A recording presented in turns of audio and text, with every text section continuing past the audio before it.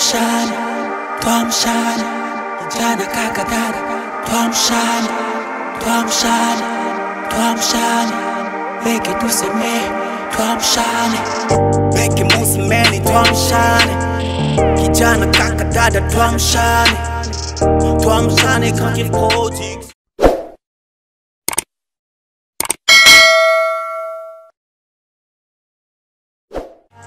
Thank you tuamshane, kijana kaka dada, tuamshane, tuamshane, kanki production. Okay, kwenye mziki wetu tuamshane.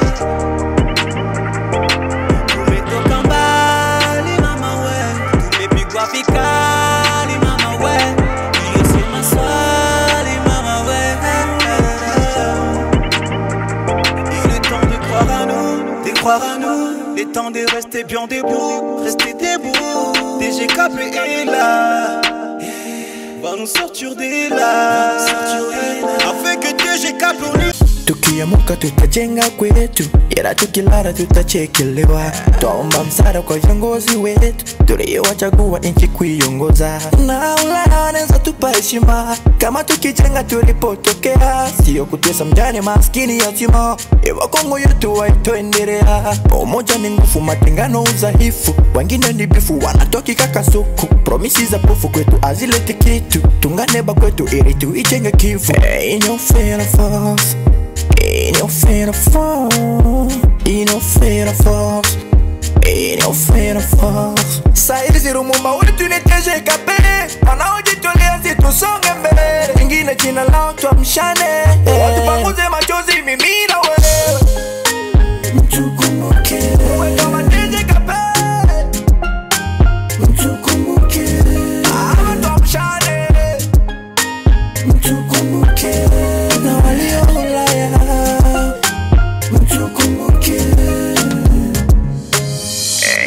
Of us, ain't no fear of us, ain't no fear of us, ain't no fear of us. Kwetu kila siku vita dui kwetu hawaishi. Hata rame inatesa bila pesa hauishi. Barabara inakufa na nchi ni watajiri. Fumboni kwa mujinga werevu wanajosiri twamshane kila kivu tutajenga kongo na tushikane kikwe Chers amis de Tomchane TV, encore une fois bonjour. Aujourd'hui, Tomchane TV va encore vous amener là où il a l'habitude de vous amener, chez nous dans la ville de Bukavu, encore une fois, comme nous les faisons d'habitude. Ici, là où nous nous trouvons, c'est à la mairie de Bukavu. Pourquoi la mairie de Bukavu? Parce qu'aujourd'hui, nous nous sommes donné la mission de vous parler de la ville de Bukavu.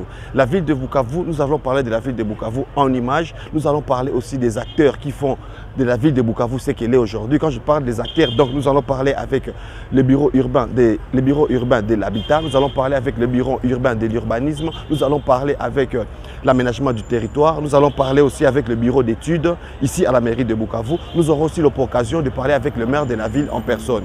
Et ces personnalités qui font, qui font de la ville de Bukavu ce qu'elle est aujourd'hui, qui organisent la ville de Bukavu au niveau artistique, au niveau urbanistique, au niveau de traçage, au niveau de Aujourd'hui, vous aurez l'honneur de suivre dans notre émission de ce jour.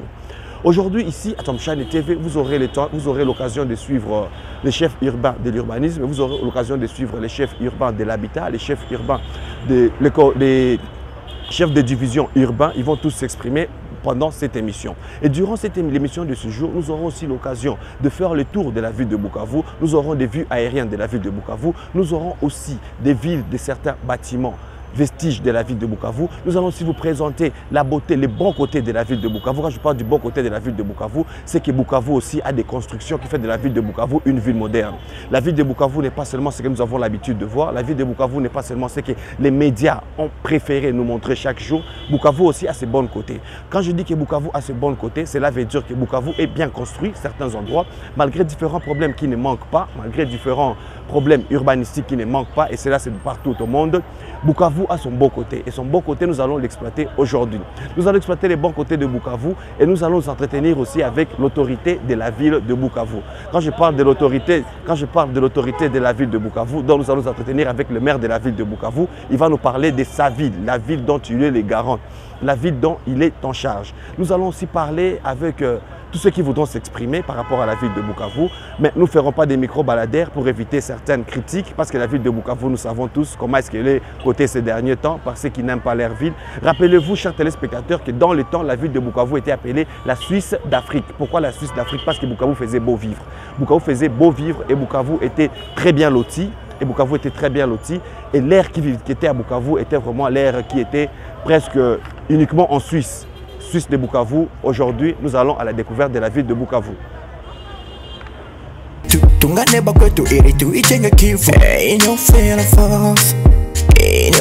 Force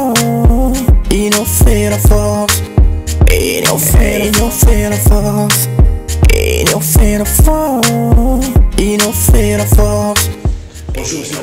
Bonjour, monsieur le journaliste. Nous sommes d'abord très ravis d'être reçus dans votre bureau aujourd'hui, malgré que vous venez de faire un grand terrain comme nous l'avons appris. Vous étiez dans les services de démolition à la place appelée Point Point. Nous espérons que ça s'est bien passé. Tout s'est bien passé.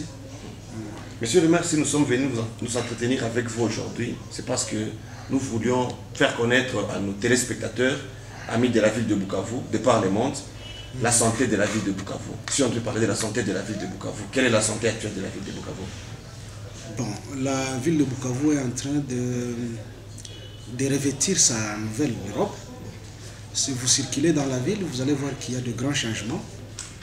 En commençant par les infrastructures, puisque cette année, nous avons exigé à tous ceux qui ont des maisons le long des artères, l'artère principale et secondaire, de pouvoir les peindre. Et nous avons un objectif à atteindre à environ 90%, puisque toutes les maisons ont été peintes. Nous avons exigé aux gens d'installer les lampes LED pour renforcer l'éclairage public sur leurs bâtiments.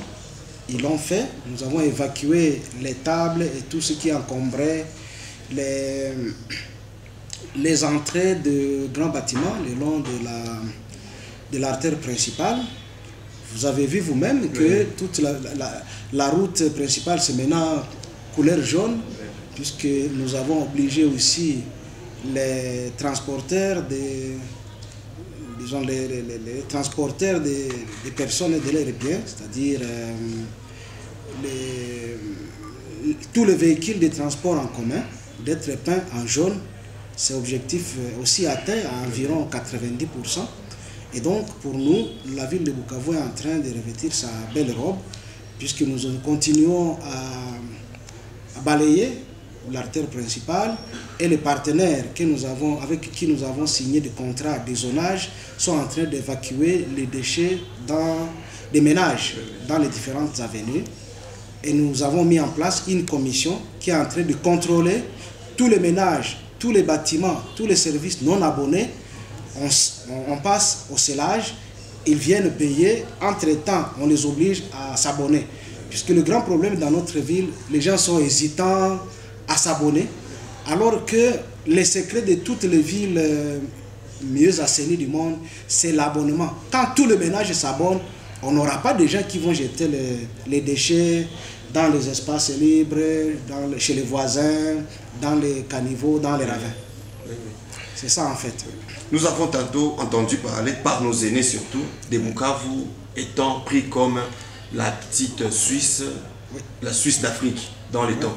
Oui. Est-ce qu'il y a des chances qu'on revienne encore à ces noms, que Bukavu soit encore euh, dans cette attribut, dans cette appellation? Il il y a des chances, mais on ne peut pas dire qu'on peut revenir totalement.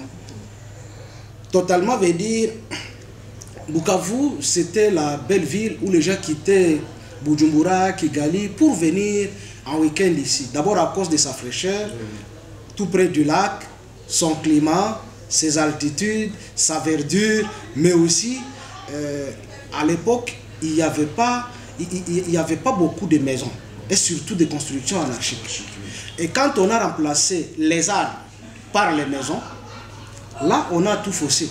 Ce que nous sommes en train de faire pour récupérer la situation, c'est maintenant, on est en train de, de planter les arbres le long des artères. Ce qui se fait dans d'autres villes. Quand vous allez dans une ville comme Arusha, vous allez voir que le long des artères, vous avez l'impression que vous êtes dans une, une route qui est dans une forêt.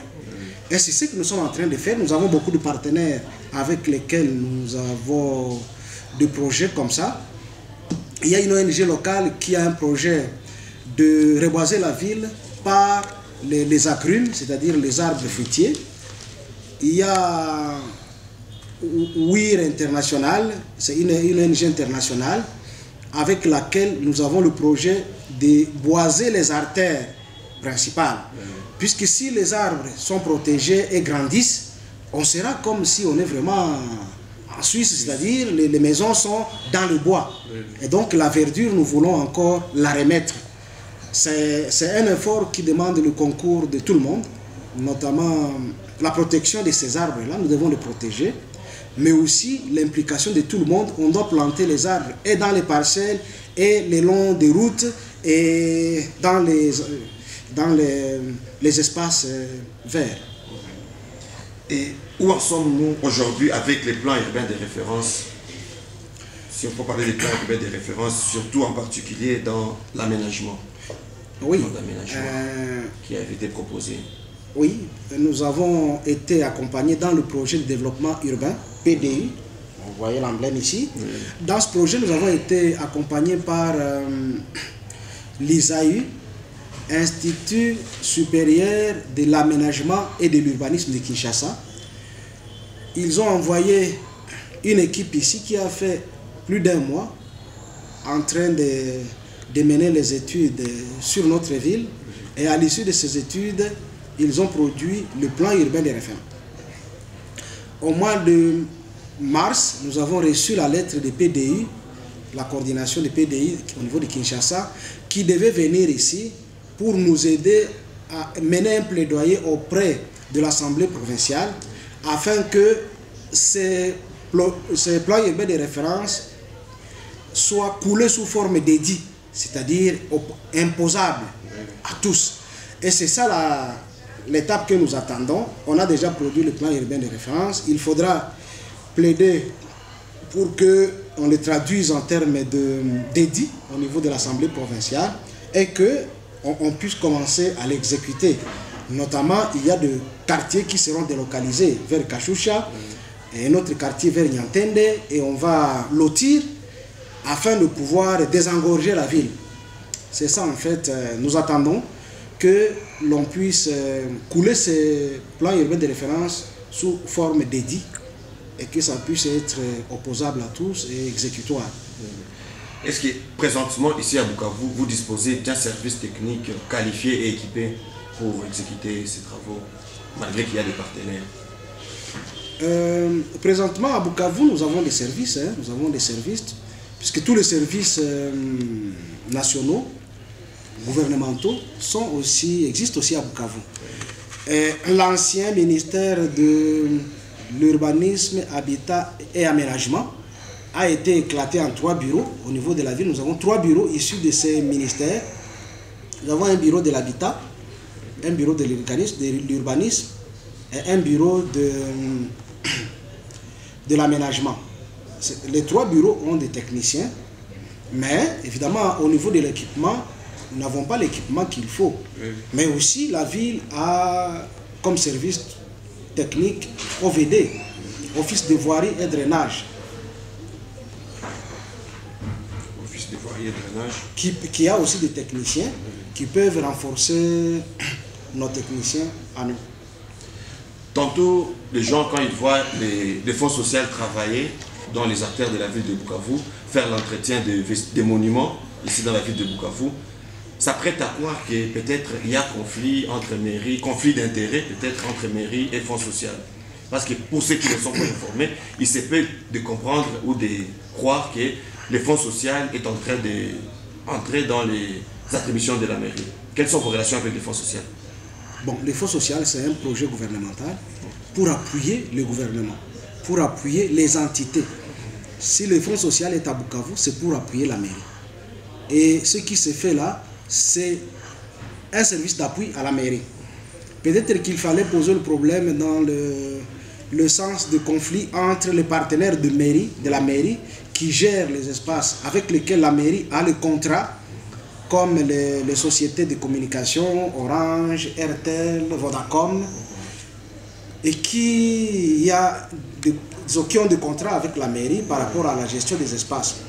Mais ce que le, le Fonds social est en train de faire, c'est dans, euh, dans le volet euh, dans le volet œuvre d'art.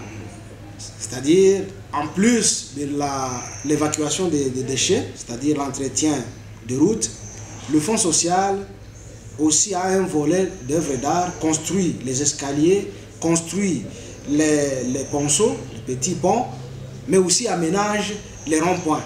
Là, c'est un service en appui à la mairie. Et donc, on, le fait en collaboration. Et quelles sont vos relations avec euh, les maires francophones du monde? Les relations de la mairie de Bukavu avec les maires francophones du monde? La mairie de Bukavu est très introduite dans le monde de, de l'Association internationale des maires francophones, l'AIMF. Puisque euh, depuis que j'étais à la mairie, j'étais président de la plateforme des autorités locales des pays de Grand Lac. Et j'ai été remplacé il y a un an par le, le, maire de Bujumbura, qui lui est maintenant président. Mais à travers notre mandat, nous avons connecté la mairie de Bukavu avec euh, plusieurs euh, villes, en plus des villes euh, avec lesquelles la mairie était connectée avant nous, par notre aîné, le maire Yogolelo, qui était avant nous. En principe, nous avons d'abord reçu un financement euh, de l'AIMF, l'Association internationale des, pays francophones, pour la gestion de bouts de vidange, c'est-à-dire de déchets, déchets, liquides, des déchets liquides, des excréments. Le projet euh, évolue très bien. Maintenant, nous attendons les infrastructures.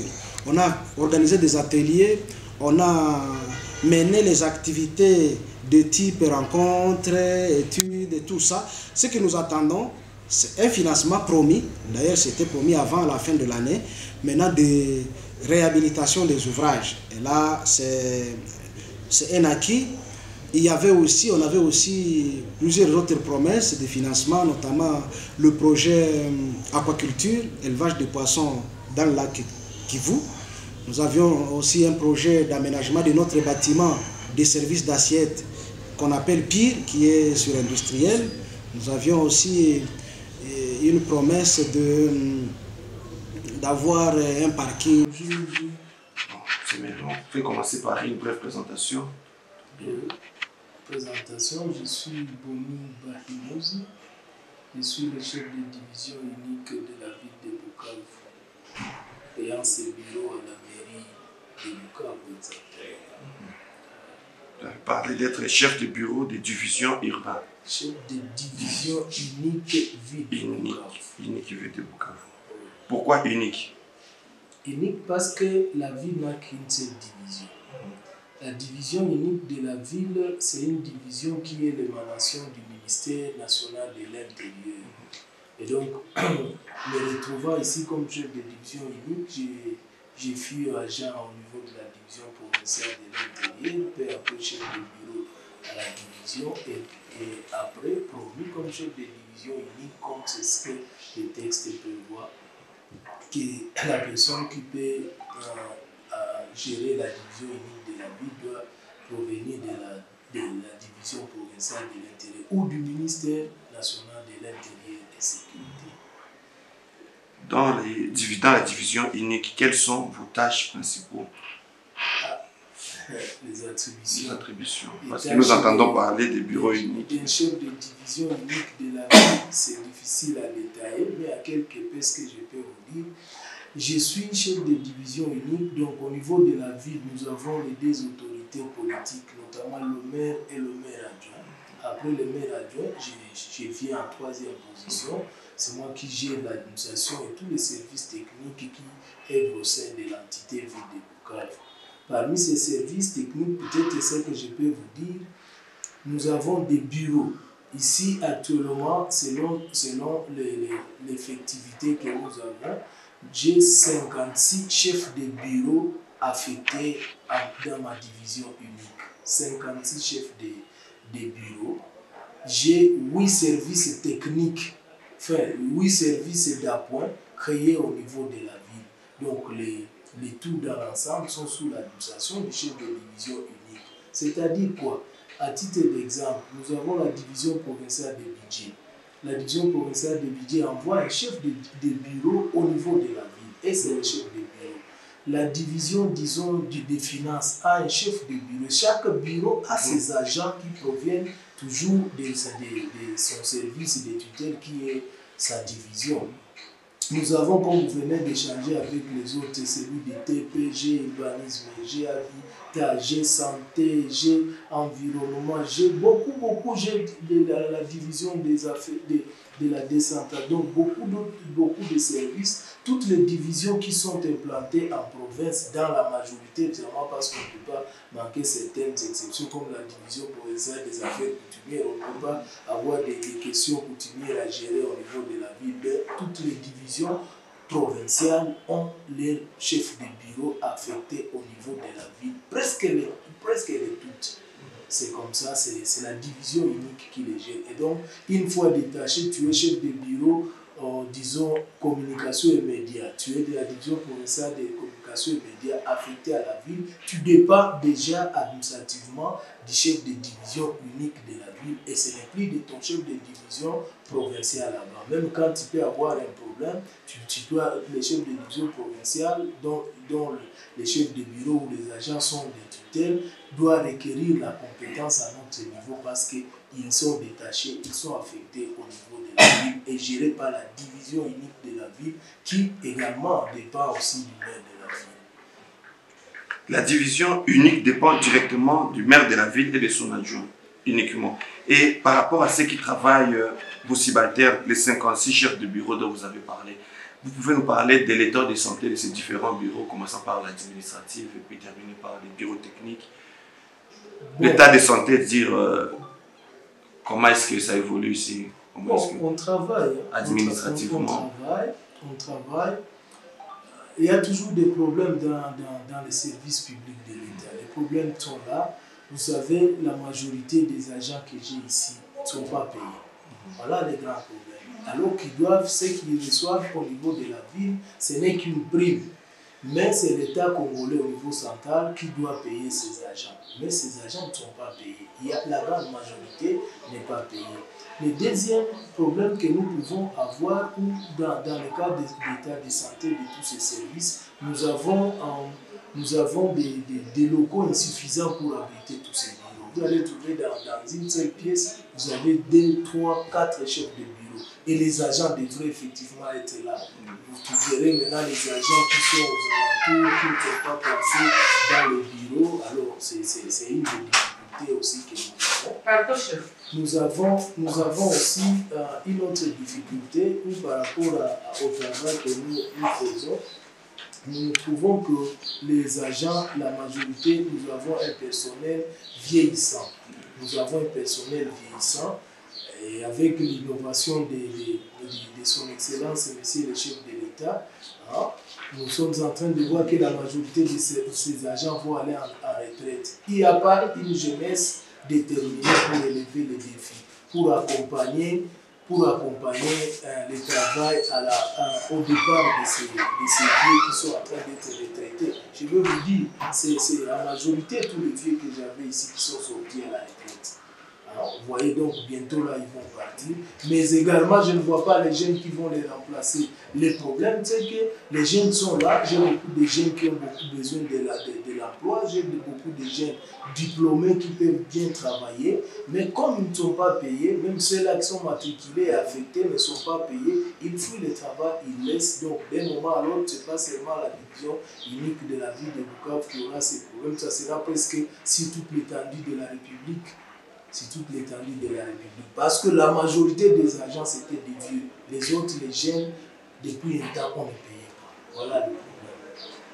Et du côté technique, nous savons que ce n'est un secret pour personne.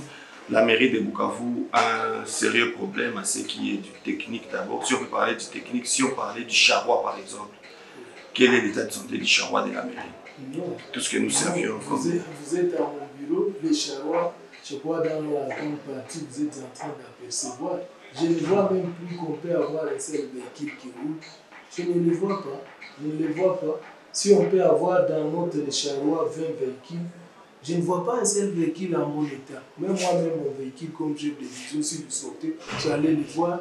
Peut-être il y a déjà l'herbe qui pousse en dessous. Parce que je ne roule plus avec ça, c'est en panne. Donc, dans l'ensemble des charrois automobiles, peut-être les deux motos que nous venons de- d'acquérir de, notre partenaire PDI. Mais en termes de, de véhicules, Jeep, voitures, camions, corrobières, même les corrobières, tout- le c'est en panne. C'est à, à déplorer. On est en difficulté. L'entité n'a pas suffisamment de moyens pour euh, réparer tous ces véhicules. On ne voit pas une autre main qui vient de l'extérieur pour aider l'entité de Bukavu. Cela dit que les garages de la mairie actuellement est- n'est pas opérationnel. Presque pas. Presque pas. Avec, avec quels engins? On n'a plus des engins vraiment. Ce sont des vieux véhicules, des vieux véhicules.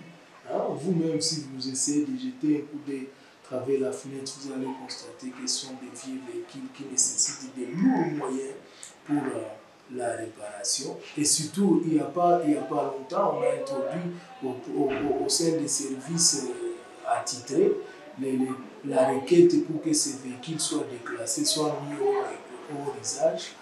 Mais le processus toujours en cours. Je crois que si vous avez, vous avez échangé avec mon service de TP, il doit vous en avoir suffisamment éclairé. Voilà. Et vous avez tantôt parlé du TDI, qui est votre... c'est des TDI, PDI. PDI. PDI, Programme de Développement. développement urbain. En quoi il consiste ce programme?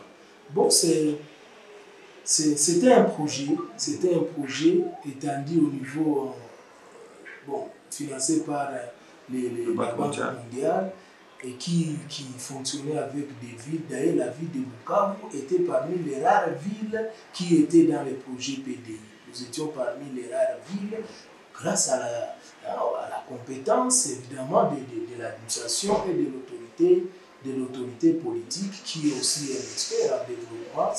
Si, vous n'êtes pas informé, c'est un enseignant d'université. Il a fourni beaucoup d'efforts. Il a, il, a travaillé avec son expertise. Et voilà qu'en en République démocratique du Congo, on était toujours parmi les quatre, les quatre villes qui sont, qui sont pilotes pour euh, le projet PDI. PDI nous a, bon, nous a toujours aidé dans, dans la capacitation du personnel.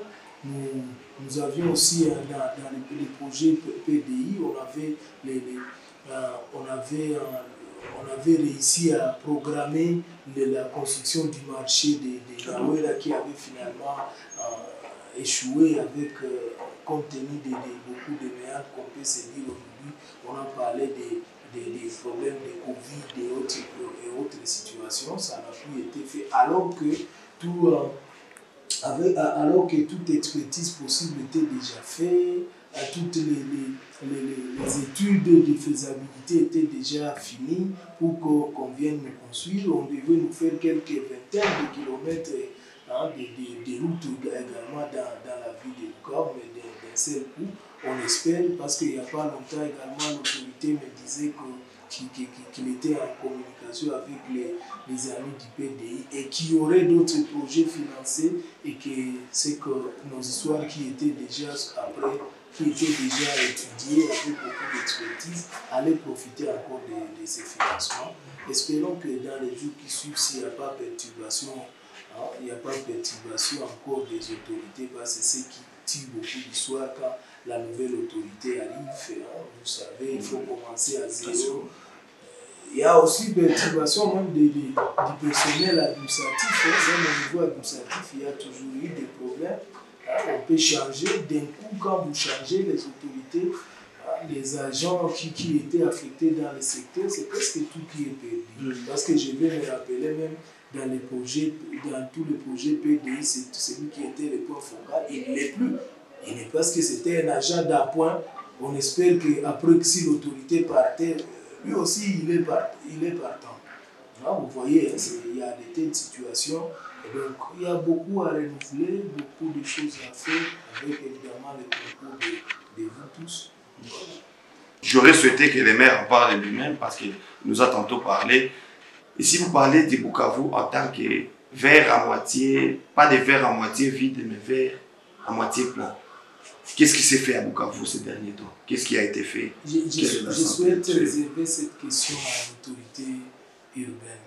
Attendez que le maire soit là. Il peut bien répondre à cette question qu'à moi-même. Parce que c'est lui qui, qui incarne la politique de l'entité en général. Ouais. Mais au niveau des divisions, des différentes divisions, vous avez pu constater certaines évolutions par rapport, euh, parce que nous avons l'habitude de parler de David de Bukavu de son côté négatif. Quelques améliorations que vous pouvez brosser, quelques innovations aussi et quelques, quelque chose qui a été fait durant ces deux dernières années. Ou ces durant ces deux dernières années. En tout cas, je souhaite que, comme le maire peut faire un tableau bien peint à cette situation, qu'il fasse ça. Parce que pour répondre à cette question, il fallait également que je sois à côté de mes services attitrés, peut-être au niveau de l'urbanisme habitat, qu'est-ce qu'est-ce que nous avons réalisé. Mais c'est beaucoup, c'est beaucoup que nous avons réalisé. Il faut voir aussi l'état de santé du personnel de la mairie. Ça vous rassure que ça va à la mairie. Voilà. Mais en termes de, de réalisation technique, euh, il faut voir l'autorité euh, qui est attitrée, maire. C'est le maire qui a le tableau dans l'ensemble. Chez Maïno aussi, pour terminer, un message à tous ceux qui travaillent sous votre autorité et à la population de Bukavu, ainsi qu'à notre audience qui nous suit partout dans le monde. Appel euh, aux maires, peut-être euh, aux associations des maires francophones, des partenaires. Vous avez un message, je pense que ça ne va pas manquer. C'est peut-être euh, le, premier message, c'est de rassurer à tous ceux qui nous suivent de l'extérieur que au niveau de la ville de Bukavu, il y a la paix. Il y a une paix considérable, une paix qui peut venir vivre également hein, au niveau de, de, de la mairie. Mais quand il faut parler au niveau de la ville en général, vous pouvez voir qu'il y a aussi amélior- amélioration du, du climat sécurité. hein. C'est- Il y, a, paix, c'est tous les jours qu'on s'est réveillé, on a ramassé un corps sans vie, on a fait ceci, mais les, les, les conseils urbains de sécurité qui se réunissent presque tous les jours avec tous les techniciens chacun dans son secteur, je crois qu'il y a quelque chose qu'on peut, peut jeter comme euh, fleur à, à l'autorité urbaine et à nous tous qui l'accompagnons dans le travail. À ceux-là qui sont de l'extérieur euh, de, la vie de Bukavu, nous tendons une main ouverte pour que celui qui peut être capable d'apporter quelque chose, quelque chose qui peut aider l'entité à évoluer, ça peut nous être le bienvenu. Vous avez compris dans l'ensemble des problèmes que nous avons, problème de mobilier, problème de matériel, problème de ceci, alors que la voix propre de, de l'entité ne peut pas supporter toutes ces charges. Et donc nous ouvrons la main des bienvenus à tout monde qui peut, à tout partenaire qui peut les trouver utiles, il peut passer, il peut nous, nous serrer la main. À vous, journalistes, de passer, prendre des vraies versions des faits, pas ramasser, pas, hein, pas publier les, les éléments ou les informations qui, qui- qu'on qu'on ramasse dans les réseaux sociaux ou qu'on peut ramasser dans, dans, dans un taxi bis, passer dans, dans notre maison. Vous êtes les bienvenus. En tout cas, on va vous faire les, informations nécessaires qui peuvent vous aider et nous aider nous-mêmes. Avant que je vous demande de passer un message à tous les aînés qui ont travaillé avant vous dans ce service et qui bientôt iront à la retraite, j'aimerais un peu que vous nous posiez une petite euh, l'état de vos relations avec les fonds sociaux. Parce que d'aucuns pensent que les fonds sociaux viennent empiéter sur les domaines de la mairie, entre autres l'assainissement, les- la réhabilitation des infrastructures publiques, l'entretien des monuments et consorts. Quelles sont vos relations avec les fonds sociaux Écoutez, fonds social, c'est le fonds social de la République.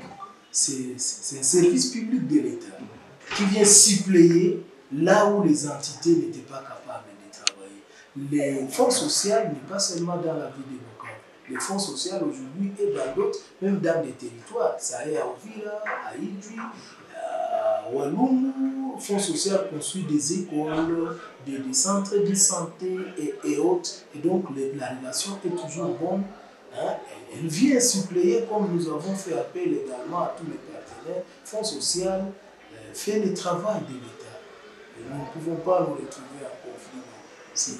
Ils ont été les bienvenus. Et on continue à collaborer en bon partenaire. D'ailleurs, pas plus loin qu'hier, euh, l'autorité urbaine est allée à inaugurer les activités de formation d'intérêt de la population financées par le Fonds social à- dans la commune de Bagu. Vous comprenez que donc les relations sont bonnes.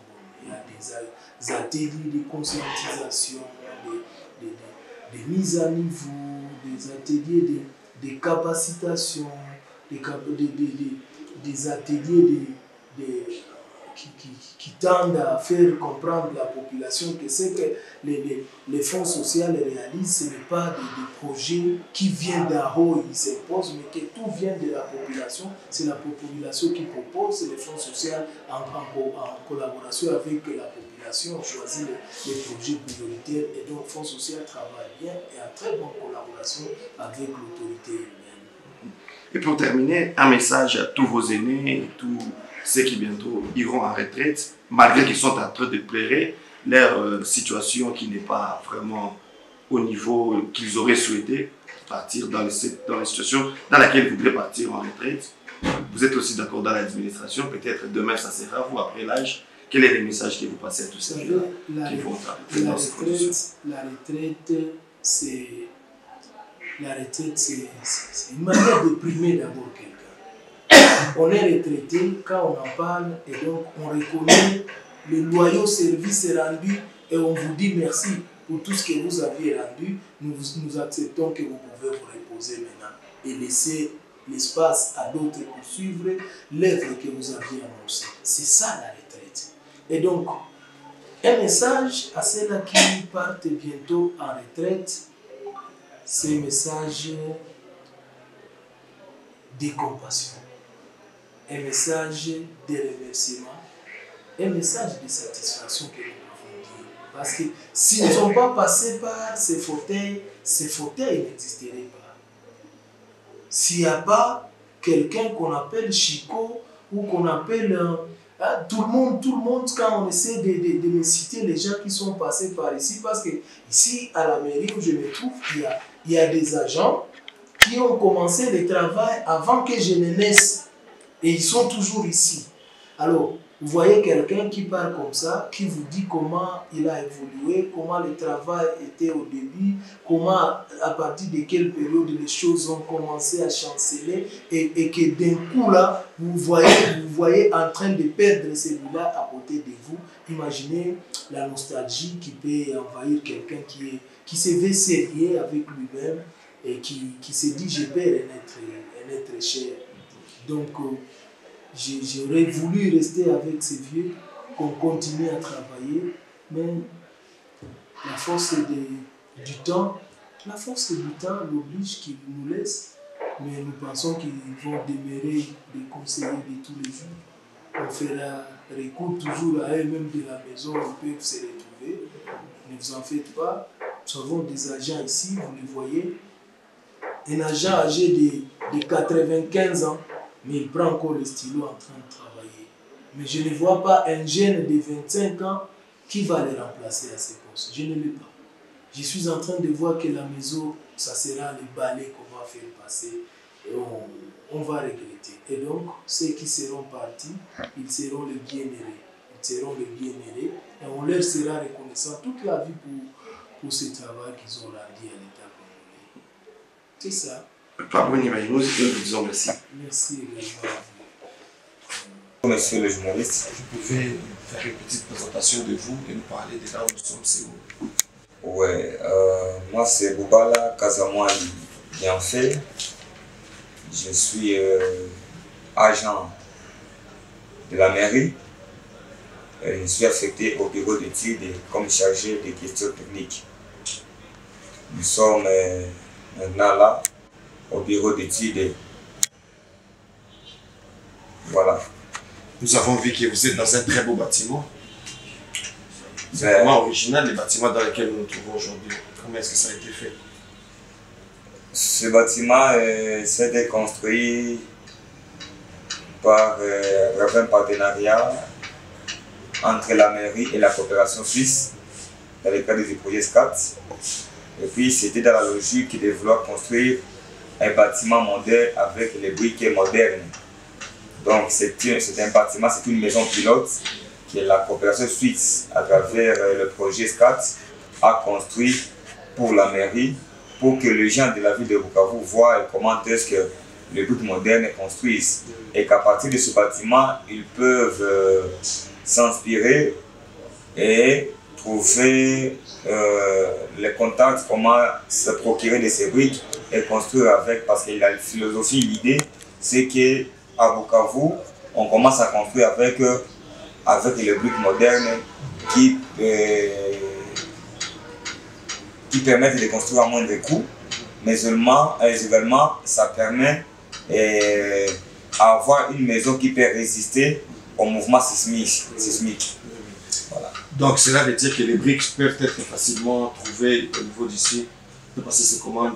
Oui, ici à Bukavu, les briques sont trouvables parce qu'actuellement, il y a euh, certains partenaires avec lesquels les, les projets de travail dans les Gangési, et puis ils produisent des briques. Si nous descendons là en bas, au rez-de-chaussée, je peux vous montrer des, des modèles qu'on expose et qui sont trouvables à partir de Nyangezi si vous entrez en contact avec ces partenaires-là de la coopération suisse. Merci Oubala. Aujourd'hui, nous sommes venus vous voir parce que nous aimerions au moins informer notre audience de ce qu'est les bureaux d'études. À quoi consiste le travail du bureau d'études Beaucoup de gens se posent des questions, ils entendent parler de ça, mais ne savent pas juste à quoi consiste le travail d'un bureau d'études. Bien. Le bureau d'études ici à la mairie de Bukavu, c'est un bureau d'appoint, c'est un service d'appoint. Ce n'est pas euh, un service déconcentré comme d'autres services, mais c'est un service vraiment purement politique, si je peux le dire ainsi. Ce service-là, c'est un service qui est attaché à Monsieur le maire. À quoi consiste ce service? Dans ce service, c'est ici où nous sommes censés regarder avec un œil vigilant toute la situation de la ville, tous les problèmes de la ville et faire des propositions en termes, euh, en termes de solutions. Donc proposer à Monsieur le maire les solutions qu'il peut, peut envisager dans le cadre de sa gouvernance. Donc c'est un bureau qui est considéré comme euh, un pool de conseillers, s'il faut le dire ainsi. C'est ici où il y a les conseillers de M. le maire dans les différents secteurs. Il y a les collègues qui sont chargés et, et, du domaine juridique. Il y a des collègues qui sont dans la politique. Moi, je suis dans la technique. Il y a ceux qui sont dans les projets. Donc, comprenez que c'est au bureau d'études où on conçoit les projets que la ville de Bukavu peut soumettre par-ci, par-là pour le développement et de la ville et pour le développement, n'est-ce pas, de sa population. Donc, dans le bureau d'études, c'est comme une cuisine interne de monsieur le maire. Il y a des correspondances qui viennent à la mairie. Le maire, peut-être, n'aura pas le temps d'exploiter la correspondance et du début à la fin. Il peut lire en passant et puis il oriente la correspondance au bureau d'études pour que le bureau d'études analyse et propose des réactions euh, aux propriétaires, donc aux destinataires de la, de la correspondance.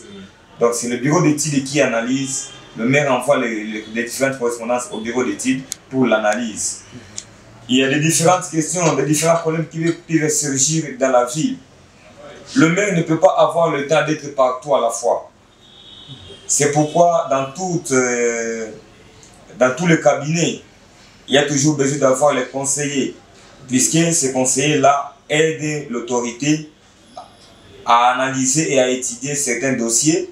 Bien évidemment, ils ne sont pas là pour décider, ils analysent, ils étudient, ils font des propositions à l'autorité. Quant à l'autorité maintenant, de prendre une décision qu'ils considèrent comme une décision eh, qui peut aider et qui peut avoir, qui, peut être une solution durable au problème ou à la situation sous examen. Voilà un peu euh, globalement ce que fait le bureau d'études. Donc, dans un autre terme, on pourrait dire que le membre du bureau d'études, ce sont les conseillers de monsieur le maire. Ce sont les conseillers de monsieur le maire qui peuvent voir. Ils ne doivent pas seulement attendre les correspondances, mais ils doivent aussi aller sur le terrain par moment, voir ce qu'il y a comme problème dans la ville, venir étudier, analyser ensemble et donner au maire les propositions. Rencontrer le maire par moment et à d'autres moments faire des notes techniques adressées à monsieur le maire pour que le maire aussi soit euh, au parfum de ce qui se passe par-ci, par-là dans la ville et voir comment est-ce qu'il peut euh, décider sur telle ou telle situation. Voilà un peu. Et par rapport à cela, pour ne pas trop demander, par rapport à la situation urbanistique actuelle de la ville de Bukavu, qui est une ville saturée aujourd'hui, est-ce qu'il y a certaines propositions qui ont été faites, qui sont déjà en cours d'études ou déjà faites par le bureau d'études pour remédier? Dans le cadre de l'urbanisation, vous savez que c'est un problème qui est réel à Bukavu, le problème urbanistique. Et je vous informe que dans la ville de Bukavu, ici à la mairie, nous avons un service de l'urbanisme qui est euh, dans notre bâtiment même. Donc un service urbain de l'urbanisme et qui se charge de cette question-là. Évidemment, le bureau d'études peut, n'est-ce pas, faire euh, certaines propositions, mais ça doit être fait bien évidemment en connivence avec le bureau urbain de l'urbanisme, parce que ce sont eux qui sont des techniciens dans ce domaine-là. Le bureau d'études est là, mais il y a aussi des services techniques avec lesquels le bureau d'études doit travailler obligatoirement en collaboration pour ne pas aussi aller, n'est-ce pas, euh, pour ne pas faire ce qui est contraire aussi à la loi. Parce que le bureau d'études n'est pas au-dessus de la loi. Et même le secteur urbanistique est régi par un certain nombre de lois. Voilà. Et pour terminer, M. Kazamouami, est-ce que c'est la population qui vient vers le bureau d'études quand il y a des problèmes quelconques auxquels vous devez conseiller et suggérer au maire, faire des notes, ou c'est vous qui allez vers la population? En principe, le bureau d'études n'est pas là pour euh, être en contact direct avec la population. La population, si elle a un problème, elle ne pose pas au bureau d'études parce que le bureau d'études n'est pas l'autorité. La population s'adresse à l'autorité. Maintenant, l'autorité renvoie, il oriente les dossiers au niveau du bureau d'études pour l'examen, pour l'étude du dossier ou de la question.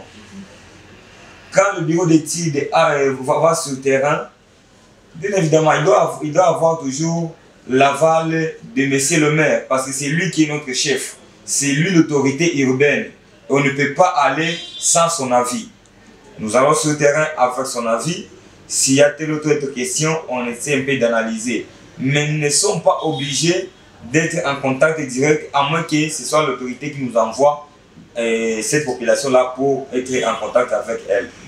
Voilà. Parce que quand vous arrivez sur le terrain, la population comprend ce que vous représentez, parce que la population de Bukavu comprend facilement ce que veut dire membre du d'un bureau d'études. Non, ne vous en faites pas. Nous avons une population qui est ce qu'elle est. Par moment, euh, il y a des terrains, quand on fait les terrains, vous trouvez les gens là, ils vous considèrent comme une menace. Ils vous reçoivent euh, avec, euh, quoi dire, un peu dédain. Un peu de dédain. Et là, il faut toujours avoir une attitude X ou Y, savoir comment tu vas te comporter pour que tu puisses trouver un isolement que tu es parti chercher. Oui. Par exemple, si vous allez dans le site Elacat, là où on a construit des maisons euh, d'une manière là, je ne sais pas comment le qualifier. Je ne sais pas, je ne vais pas le qualifier, va lui donner une qualification quelconque. Mais quand vous arrivez là, vous voyez la population, elle est un peu mobilisée, elle veut savoir qui vous êtes, elle veut vous attendre, mais vous sentez aussi dans cette population qu'il y a une tendance de se venger quelque part. Et là, on essaie un peu d'être un peu modéré comme le bureau d'études pour qu'on qu'on trouve les éléments nécessaires et qu'on rentre encore sans, qu'on ait, euh, sans connaître des, des affrontements avec la population. Voilà. Et pour chuter, un- une dernière question. Bon, un appel, vous allez faire un appel à cette population de la ville de Bukavu ou à nos chers frères et sœurs de la diaspora qui nous suivent aussi. Vous avez un mot pour, pour eux. Ben, dire? Nous sommes peuple congolais. Nous sommes habitants de Bukavu, nous sommes des Bukaviens. La ville de Bukavu, c'est notre ville. Ça nous appartient. Et nous n'aurons pas d'autre ville que la ville de Bukavu. C'est à nous de protéger notre ville, c'est à nous de rendre propre notre ville. Puisque euh, le développement de Bukavu dépend aussi du changement de mentalité de notre population. Donc j'appelle la population de Bukavu au sens patriotique, qu'ils aiment leur ville, qu'ils aiment leurs autorités, qu'ils soient en mesure de se rapprocher de leurs autorités, parce que les autorités ne sont pas vraiment loin d'eux, parce qu'il y a des gens qui pensent que les autorités sont loin d'eux, mais les autorités sont là, ils sont là pour la population. On ne peut pas gouverner une ville qui n'a pas de population. Donc l'autorité est là pour sa population. S'il y a un problème, que la population approche l'autorité et ensemble, on peut trouver toujours des solutions. Car il y a des hommes, partout où il y a un problème, quand il y a la place des hommes, il doit toujours y avoir une solution. C'est pour cela que j'appelle la population au sens patriotique d'aimer leur ville. Question que tout le monde doit s'y mettre. La question de la salubrité publique, c'est une question de tout le monde. Par exemple, actuellement, il y a des systèmes où vous trouvez les gens prennent, prennent des déchets, ils ça dans les caniveaux. Mais la population n'a pas besoin d'avoir un policier pour savoir que non, si je jette ces, ces- ces déchets ici, ça va boucher le caniveau. Non. C'est une question seulement de prendre conscience, que la population prenne conscience que non, ça c'est ma ville et je n'ai pas une autre ville que la ville de Bukavu. Par exemple, si vous partez en cours de route, vous trouverez, je ne sais pas, euh, des écorces de bananes, je ne sais pas quoi, je ne sais pas quoi. Mais si vous traversez dans une autre ville voisine, euh, d'ici à Bukavu, vous trouvez que la même population qui faisait ça à Bukavu, elle change la mentalité directement. C'est pourquoi cette population ne doit pas vivre une vie d'hypocrisie. Pourquoi qu'elle traverse chez les, chez- chez les voisins, ils, ils adoptent une autre attitude que l'attitude qu'ils ont chez eux. Pourquoi ne pas prendre cette même attitude dans notre pays, dans notre ville, et voir comment notre, ville peut être salubre? Par exemple, quelqu'un qui part construire dans, le site de Kabokassir. Le nom même de- du site montre que c'est un site dangereux. Mais ces gens-là construisent là, ils attendent seulement que ce soit l'autorité qui va venir leur dire de quitter. Mais quand même, on est des hommes, encore avec de l'intelligence. Dieu nous a créés avec l'intelligence. On ne doit pas toujours attendre que tout soit fait par contrainte. Il y a d'autres choses qu'on peut se dire. Non, c'est un site, c'est vrai que moi je suis locataire, j'ai pas une maison, mais je ne peux pas quand même vivre sur tel site parce que c'est trop dangereux et pour moi, et pour mes enfants, et pour ma famille. Et là, on est à l'abri de ces dangers-là. Voilà un peu. Donc, la population, je l'invite vraiment au sens patriotique, au sens responsable. Nous devons être responsables parce que nous sommes d'abord nous-mêmes les agents de notre sécurité. Nous devons nous sécuriser, nous devons sécuriser notre vie, nous devons rendre notre ville propre et salubre. Aux organisations, par exemple, de la société civile, au lieu de se mettre toujours euh, à couteau tiré avec les autorités, qu'ils adoptent euh, une attitude de coopération, de collaboration. Mais également, ils ne doivent pas penser qu'ils sont là seulement pour faire pression à l'autorité, mais ils doivent aussi sensibiliser la population. Sensibiliser la population. L'éducation populaire, c'est important. Qu'ils disent à la population, non, on ne doit pas se comporter comme ça, on doit se comporter comme ça. On ne doit, pas- se comporter comme ça, on doit se comporter comme ça. Et ça, ça peut aider et au pour le changement de mentalité. Voilà. C'est tout ce que je peux dire euh, comme euh, message à la population de Bukavu, aux, aux organisations de la société civile et peut-être euh, à ceux qui sont à l'étranger. La ville de Bukavu, c'est leur vie, dès qu'ils sont partis, mais ils doivent se souvenir qu'ils ont quitté quand même quelque part et que donc, s'ils sont là, s'ils peuvent avoir des partenaires qui peuvent venir investir à Bukavu, c'est toujours important, ça peut toujours aider leur vie. Et les autorités de la ville de Bukavu peuvent être contents aussi, contentes alors, euh, s'ils trouvent des partenaires euh, envoyés par les fils de Bukavu qui sont partis par là dans la diaspora. Et ça, ça peut peut-être aider à l'émergence de notre voilà, merci beaucoup. Je vous en prie. Au nom de Hamouli, Hamouli Barata, chef de cellule au bureau urbain de l'urbanisme. Pour ceux qui ne savent pas à quoi consistent les travaux de l'urbanisme, L'urbanisme, l'urbanisme c'est pour moderniser la ville, je dirais. moderniser c'est simplement. Moderniser la ville, donc il faut, et- et il faut, comment je vais le dire,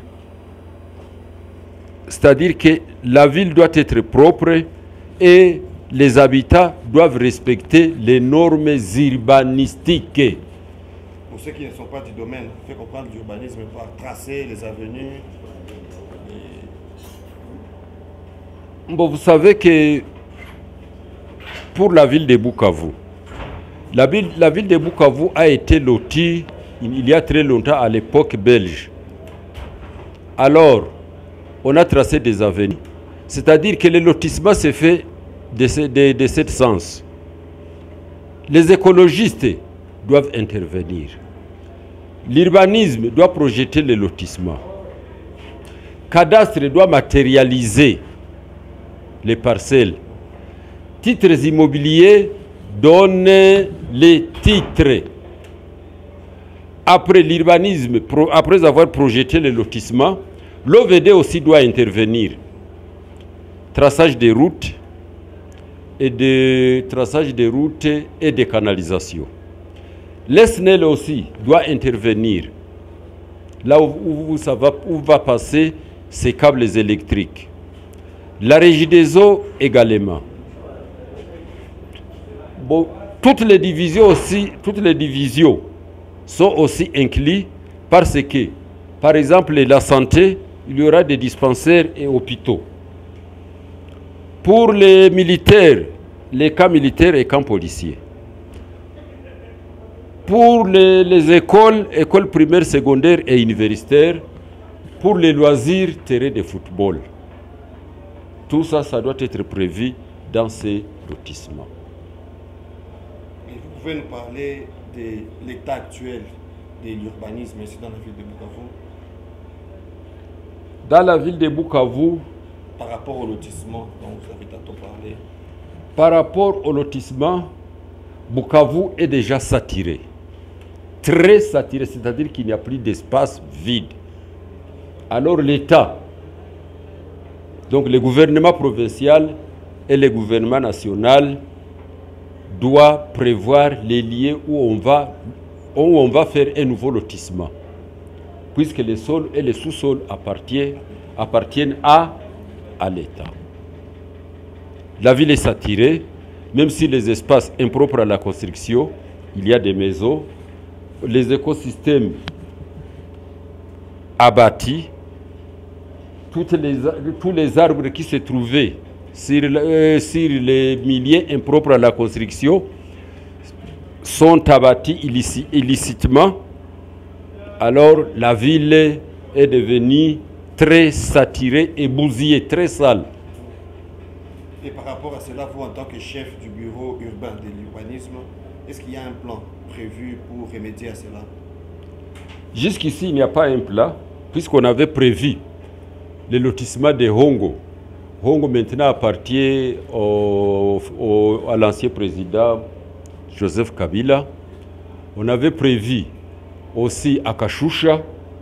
À Kashusha, ça n'a pas tenu suite, à des problèmes, je ne sais pas, les territoires de Kabare et l'INERA. Alors, ce lotissement a échoué. Mais les, sous- les sols et les sous-sols appartiennent à l'État. Si l'État décidait, l'État décidait de créer de nouvelles extensions, je pense qu'il peut indemniser les gens se trouvant sur ces milliers et aller de l'autre côté dans d'autres milliers et l'État peut créer un nouveau lotissement. En, en 2035, on a prévu quelques lotissements. Je vais d'abord fêter. Couronne cité d'extension dans l'interland immédiat de Bukavu. 12 km de l'ancien noyau. L'ancien noyau, c'est Bukavu. On a prévu Anyantende et Katudu, au sud, à 8 km du centre-ville. Nyantende, c'est dans. B. Kamisimbi au sud, à 7 km du centre-ville. Kamisimbi, c'est à Walungu. C. Chijo, Kagabi, Muganda, Chirunga, Mogo, c'est à Kabare. Bon, Kidodobo, Mbirikira, à l'ouest, à 10 km du centre-ville, c'est à Walungu. Et à aussi, donc voir Kitumaini, là où se trouve l'Institut Kitumaini. Deuxième couronne, on a prévu Kavumo, Luhihi, Birava et encore Nyangezi. Qu'est-ce qui devait être fait dans ces endroits dans Ça- ces couronnes Dans ces couronnes, on va, on, va, on va étendre les villes. Donc on va construire les cités. Les cités, donc quand vous parlez de reconstruire la ville, donc c'est délocaliser presque la ville de Bukavu avec les bureaux qui sont ici, Pas de local- officiels. Je ne dis pas c'est de, délocaliser les villes, mais là on va construire des, des- des- des nouvelles extensions. Alors les gens peuvent quitter ici et aller, et aller habiter par exemple à Chijo, à Kavumo, à Luhihi, Birava et Nyangezi, puisqu'il y aura une, de grandes cités. C'est à l'an 2035. est-ce qu'ils ne seront pas éloignés de l'administration? Éloigné de l'administration. Oui, oui. Vous savez- Vous savez, que Kinshasa a 24, a 24 communes. Mais il y a, je ne sais pas si comment on appelle la ville de Kinshasa. C'est à... Ou à Gombe, je, je pense à Gombe. Oui, oui. Euh, c'est à Gombe, là où il y a les, bon, les gens quittent de là, les bureaux administratifs, les gens quittent à, à, à, 100 à 100 et à, à 200 km pour venir à Gombe y travailler. Quitter à 10, kilo- à 10 km, à 8 km, quitter Nyangezi jusqu'ici, qu'est-ce que ça demande?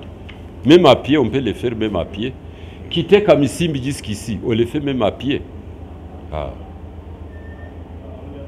Et les plans été proposés. Qui a, qui avait- qui a fait l'auteur de, de cette proposition? De cette proposition, c'était le, projet du plat urbain de référence plan particulier d'aménagement, donc de la ville de Bukavu.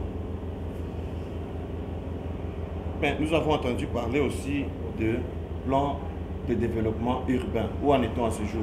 Il y avait un plan qui était prévu de développement urbain avec certains partenaires. Nous avons cru attendre ça. Où en est-on aujourd'hui par rapport à l'urbanisme? L'urbanisme aussi était com- compris dans ces plans. Je pense, non, mais on ne devrait pas faire un projet sans l'urbanisme, surtout les projets d'extension. Je vous ai dit que titres, cadastre, titres immobiliers et l'urbanisme marchent de pair. Puisque l'urbanisme donne les titres, cadastre euh, matérialise et les titres immobiliers les titres. Et en ce jour, vous pouvez nous dire les moyens dont vous disposez pour euh, que l'urbanisme puisse euh, faire ce qui lui est comme devoir et ce qui lui est demandé de faire et par sa mission. Quels sont les moyens dont vous disposez en ce jour À pour ce- bien exécuter le travail? Je dirais qu'à ce jour, il n'y a pas de moyens, puisque pour les normes urbanistiques, la parcelle doit avoir une dimension de 50 mètres sur 50. Mais maintenant, comme il n'y a plus d'espace, il y a de ces anciens particuliers qui commencent à vendre leurs parcelles, puisque la parcelle coûte très cher ici à Bukavu, pour aller acheter à Kinshasa ou dans d'autres provinces. Alors, cette parcelle-là de 50 mètres sur 50, ils donnent ça aux. On les appelle comment? Les, les commissionnaires. Et ces commissionnaires peuvent morceler cette parcelle à 10 ou à 15, par, à 15 parcelles. Donc, en quelque sorte, les commissionnaires commencent à faire le travail de l'urbanisme. Pas de travail de l'urbanisme. Quand vous avez votre parcelle, moi que j'ai de l'argent, je, peux vous payer- je vais payer cette parcelle. Est-ce que l'urbanisme va encore intervenir? L'urbanis- L'urbanisme intervenira, intervenira après. Puisque quand ces messieurs qui ont payé ces parcelles, ces parcelles, lui quand il va demander alors les titres de sa parcelle, c'est cadastre et titres immobiliers. Quand il va construire, il demande l'autorisation à, l'urbanisme. Alors que la parcelle de 5 mètres sur 5 ou de 10 mètres, ou de 10 mètres sur 7 par exemple, ces parcelles ne peuvent pas exister.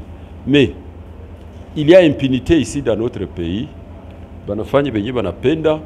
Puisque kada- les, titres immobiliers ne peuvent pas laisser donner titre à un quelqu'un qui a déjà sa parcelle.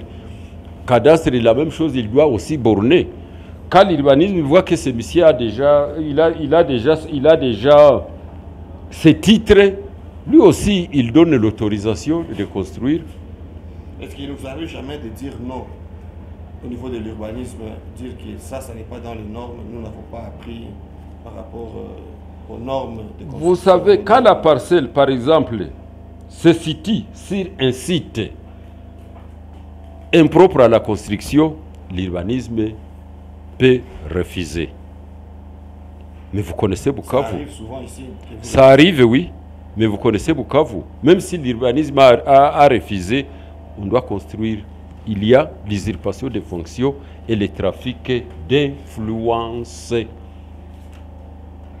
Et nous parlions de moyens. Est-ce que ce ne sont pas les moyens qui vous font défaut pour bien exécuter votre travail et éviter l'anarchie qui règne sur le plan urbanistique à Bukavu? C'est le moment, c'est euh, à ce moment-là que je vous ai dit que je vais d'abord lire ces, ces, ces- difficultés ici. Manque de fournitures de bureaux, papier, stylo et autres accessoires, etc. Les agents, donc contrôleurs de sites et, enquêteurs de sites, ne touchent ni les salaires de l'État via la fonction publique, ni la prime de l'entité territoriale décentralisée qui est la mairie de Bukavu. Vous suivez?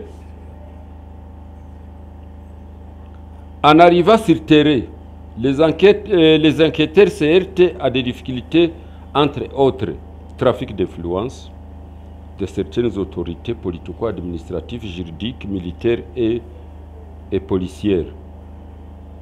Manque de transport.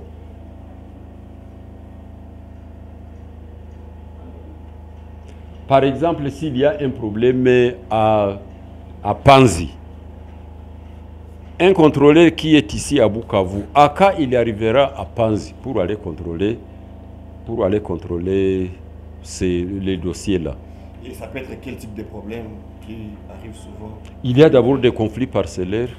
Ceux qui construisent dans des cimetières, par exemple, cimetière de Panzi, l'urbanisme doit intervenir. La mairie doit intervenir. C'est lui le responsable de la ville de Bukavu, les maires. Euh, Et si on parlait de la situation sociale des agents sont impayés. Par exemple, quand vous arrivez sur terrain, vous, vous êtes impayé. Quand on fait un 10 dollars, même si ceci n'est rien propre à la, à la construction, tu es affamé, tu mets ces 10 dollars en poche de- na una- na unaenda. Si, cette, si ça va, si cette maison va s'écrouler ou par le, le- par l'ouragan ou autre, ou autre, ou autre calamité, c'est le problème de ces messieurs. Vous connaissez qu'ici à Bukavu, quand quelqu'un a déjà son titre, hautamwambia tena kitu. Je, je vous remercie, puis je, je, pars. quelles sont vos propositions Quelles sont les- Quelles sont les propositions? Étendre la ville. Et la ville doit être, doit, doit, doit être étendue par le gouvernement provincial et national. C'est étendre la ville, donc élargir la ville. Papa Barata, nous sommes satisfaits Ok. et nous vous remercions. Bon, moi également. Un dernier mot Je n'ai pas, je n'ai plus à dire. aux autorités, à la population. Vous connaissez que la population de Bukavu, les gens de Bukavu sont, je, je dirais, comment je peux les qualifier? Sont d'abord égoïstes. Lui, quand il a déjà eu sa parcelle, hawezi mwambia tena kitu. Alors l'autorité qui nous envoie aussi, qui nous envoie pas de transport, pas de, je ne sais quoi. Nous avons parlé des primes, nous impayés pour le gouvernement, donc la fonction publique, nous sommes impayés. Quel État songe d'abord aux, travailleurs? Quand, il songe aux travailleurs, c'est-à-dire qu'il doit punir n'importe comment. Mais quand il y a trafic d'influence, quand il y a usurpation de fonctions, quoi faire? Merci beaucoup. Moi, je vous remercie. Il y avait beaucoup de promesses, mais ce que nous reconnaissons est que dès que la Covid a commencé, nous avons organisé beaucoup de séances en ligne et la ville de Paris nous a financé avec euh, environ 70 000 euros de matériel de lutte contre la Covid, notamment l'oxygène et tout ce matériel nous avons orienté à Panzi ou un hôpital dirigé par le prix Nobel de la paix. Et donc, c'est vous dire que les relations sont bonnes euh, avec euh, l'Association internationale des maires francophones. D'ailleurs, au moins, la fin de ce mois ici, on doit se réunir, je pense, à Tunis pour l'Assemblée générale. Et c'est à ces occasions, c'est à l'occasion de l'Assemblée générale de l'Association internationale des maires francophones que la plateforme, la plateforme aussi des autorités locales des pays de Grand Lac, s'est- réunie. Mais à cette occasion, nous faisons le suivi des projets qui ont été financés et qui sont en cours de financement, c'est-à-dire en négociation de financement. Aujourd'hui, dans la ville de Bukavu, tout le monde se plaint, les églises, les universités, et même les écoles, et même les parents, de l'oisivité des jeunes ici dans la ville de Bukavu. Et d'aucuns disent que c'est parce qu'il n'y a pas d'espace récréatif pour les jeunes de la ville de Bukavu. Qu'est-ce qui est prévu dans ce cadre? Beaucoup de choses encadrer la jeunesse beaucoup de choses sont prévues. Nous devons évidemment reconnaître que beaucoup de salles, hein, des salles de cinéma, hein, les Roxy, les autres, ont été vendues aux églises. Ça, nous le reconnaissons. Mais il y a encore quelques salles hein, de culture, notamment le foyer culturel de Bukavu, l'ancien centre culturel français, qui disponibilise d'une bibliothèque, qui disponibilise même euh, de plusieurs activités culturelles. Il y a même une connexion gratuite pour ceux qui sont abonnés.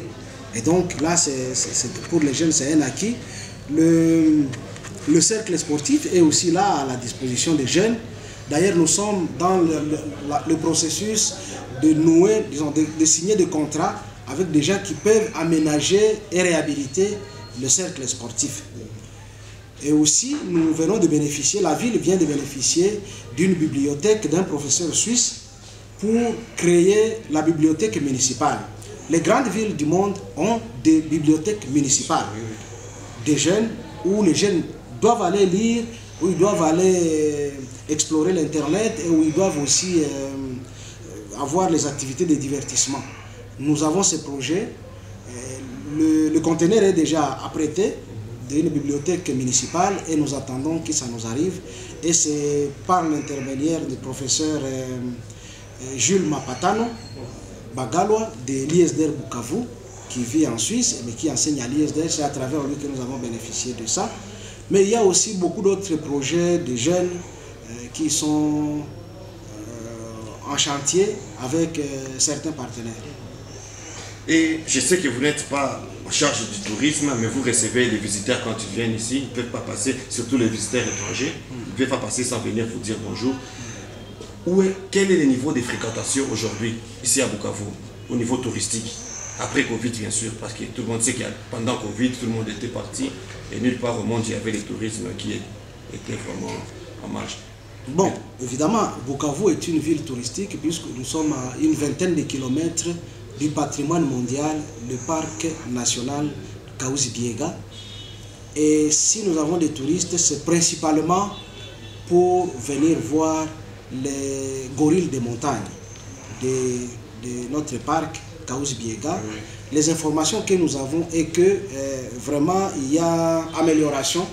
Les gens viennent, euh, même s'il y a quelques inquiétudes par rapport à la sécurité dans certains coins de, ces parcs, mais le- les contacts que nous avons avec, euh, le PNKB et ses responsables nous renseignent que après Covid, il y a évolution, c'est-à-dire augmentation du taux de fréquentation de- des touristes dans notre, dans région.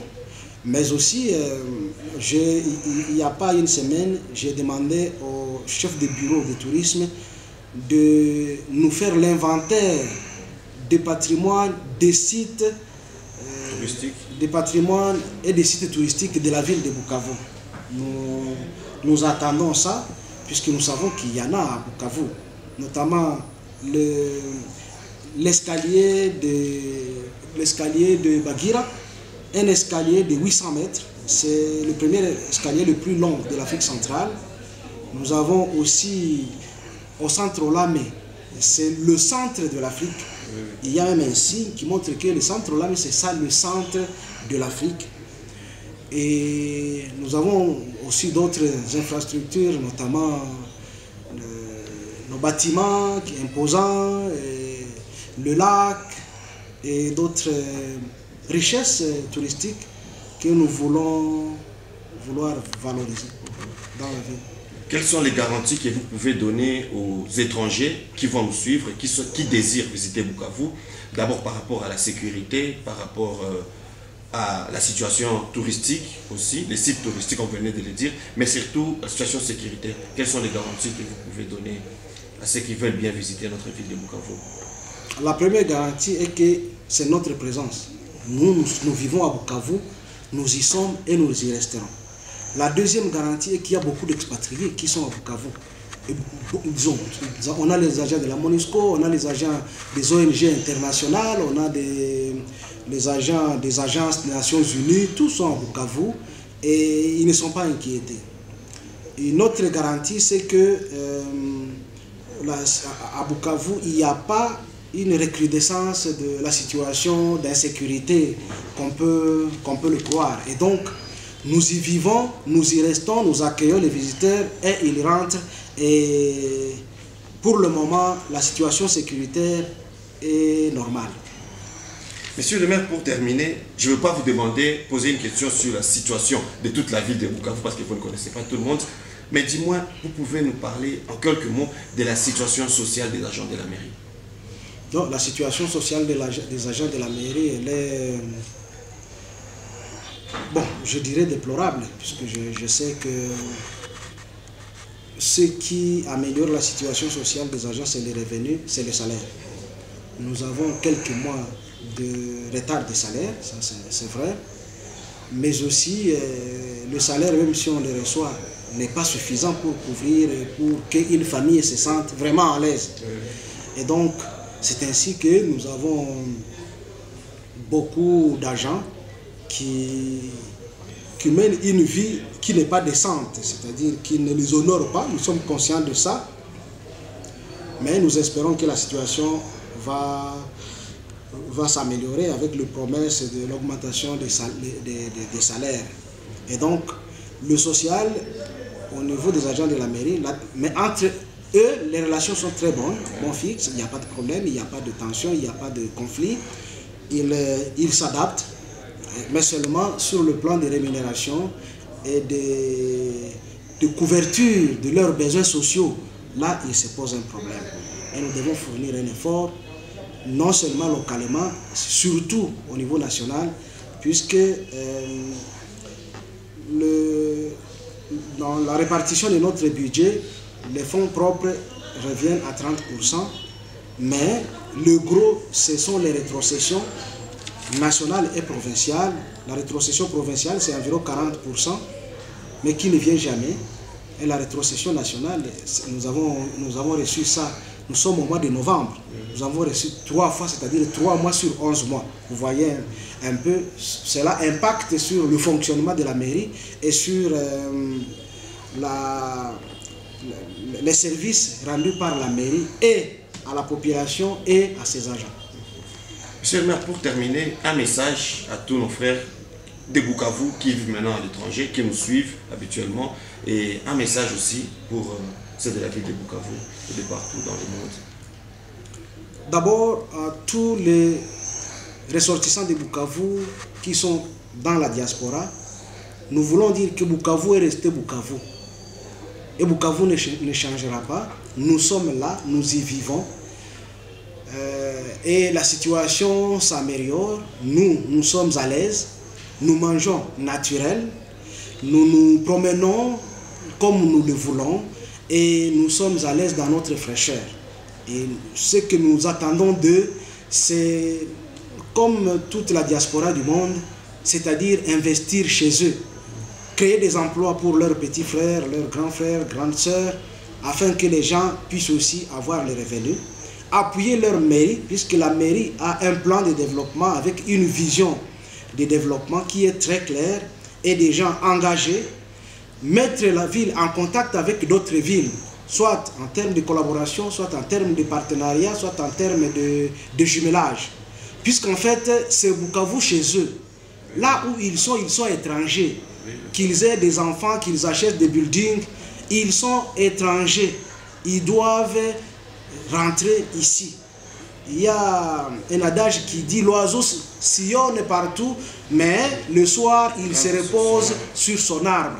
Partout où ils vont, ils sont étrangers, mais c'est à Bukavu, chez eux. Qu'ils viennent construire chez eux, qu'ils viennent investir chez eux, qu'ils viennent euh, compatir aussi avec euh, leurs frères dans le bonheur, tout comme dans le malheur.